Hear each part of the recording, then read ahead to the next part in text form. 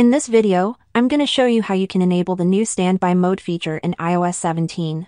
So if you are an iOS user and you've updated to the newest version of iOS, which is iOS 17, you have to enable this feature. Standby mode turns your iPhone into a smart display when connected to a charger and placed in landscape mode. You can see incoming calls, current date and time, live activities, and even personalize it with cool widgets, clock styles, and more. And without wasting your time, let's start right away. You want to open the settings on your iPhone and then scroll down a little bit. The standby option should be right under the wallpaper section, so find the standby mode and open it.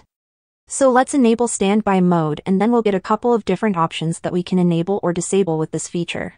You can choose if you want to get notifications when you are in standby mode, and it tells us that some critical notifications will still be shown when this option is turned off.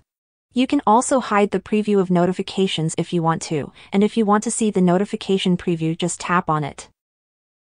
We also have a night mode for standby, and that will show a red tint for a clock and other stuff with low ambient lighting.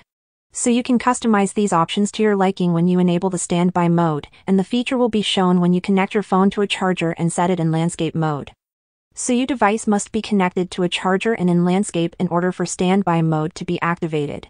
Also, you have to make sure that this portrait lock option is disabled. If this portrait lock is turned on, that will prevent our phone to go into landscape mode.